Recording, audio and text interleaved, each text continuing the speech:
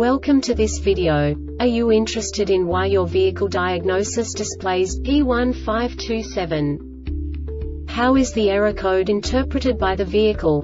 What does P1527 mean, or how to correct this fault? Today we will find answers to these questions together. Let's do this. First, let's look at the history of diagnostic fault code composition according to the OBD2 protocol, which is unified for all automakers since 2000. We divide the electric system of automobile into the four basic units. Powertrain, body, chassis, network. This distribution is defined in the first character code. If the second character is expressed as zero, it is a standardized error. In the case of numbers 1, 2, 3 it is a more prestigious expression of the car-specific error. The third character specifies a subset of errors.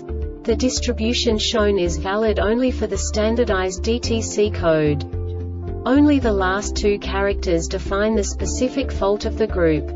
Let's not forget that such a division is valid only if the other character code is expressed by the number 0. Our website airbagreset.sk produces useful videos for you. You do not have to go through the OBD2 protocol anymore to know how to troubleshoot any car breakdown. You will find all the diagnostic codes that can be diagnosed in a Cadillac vehicles. Also many other useful things.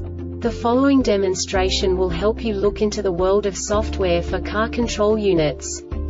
You unbelievably can move the video a bit further. The error code is split into two bytes consisting of 16 bits. One bit is the basic unit that each computer works with. The bit has two logical states. 0, low level, 1, high level. By combining the first two bits, the basic character of the error code is expressed. The next two bits again determine the second character. The last beat styles of the first byte define the third character of the code. The second byte is composed of a combination of 8 bits. The first 4 bits determine the fourth character of the code. And the combination of the last 4 bits defines the fifth character. A single byte conceals 256 possible combinations. We now know in what way the diagnostic tool translates the received information into a more comprehensible format. The number itself does not make sense to us if we cannot assign information about it to what it actually expresses. So, what does the diagnostic trouble code P1527 interpret specifically Cadillac car manufacturers? The basic definition is Rear crash data, no subtype information. And now this is a short description of this DTC code. This DTC sets when the ORC detects that an impact has caused a squib deployment once the code sets in this ignition cycle it stays active for this ignition cycle. This diagnostic error occurs most often in these cases.